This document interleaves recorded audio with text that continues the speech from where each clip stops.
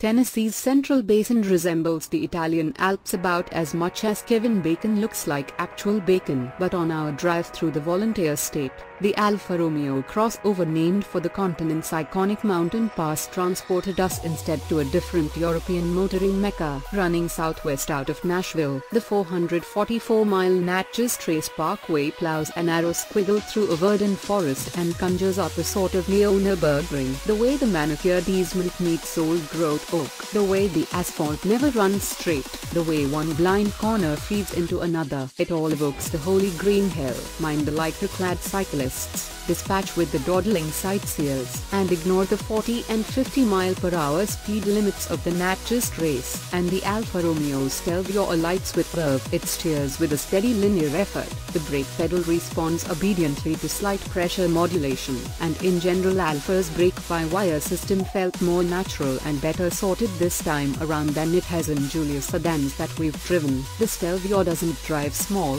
it's slightly longer than the Audi Q5, the BMW X3 and the Mercedes-Benz GLC class, but there is a precision to the controls that invites you to use more road to corner closer to trees that crowd the driving line and to drift nearer the drainage to chat the pavement's edge. In this segment, only a Porsche Macan inspires more confidence. The Stelvio's dynamic virtues hold up when driven in more routine environs as well. This transmission is